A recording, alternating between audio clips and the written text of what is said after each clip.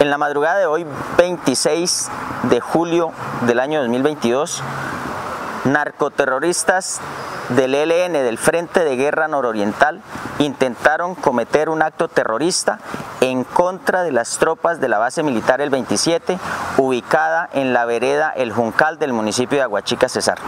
Las tropas de la Quinta Brigada, dentro de sus tareas de seguridad y protección de la base, reaccionan al detectar un vehículo tipo camión que fue parqueado en la ruta del sol y que no tenía placas, conducido por dos sujetos que al detectar las tropas emprenden la huida, no sin antes activar los artefactos explosivos que tenían preparados para atacar las tropas y la población civil.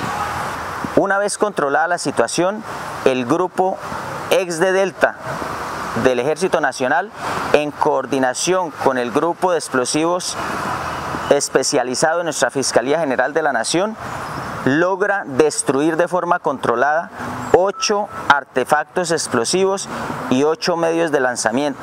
Los artefactos explosivos son cilindros de 25 libras rellenos de explosivo R1 de alto poder. Todo este material ya fue destruido de forma controlada. La vía, la ruta del sol se encuentra al momento en libre movilidad.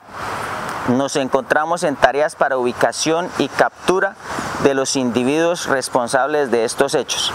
La Quinta Brigada del Ejército Nacional continúa comprometida con la seguridad, la tranquilidad y la paz de todos los cesarenses y todos los 100 municipios que corresponden al área de operaciones de esta brigada.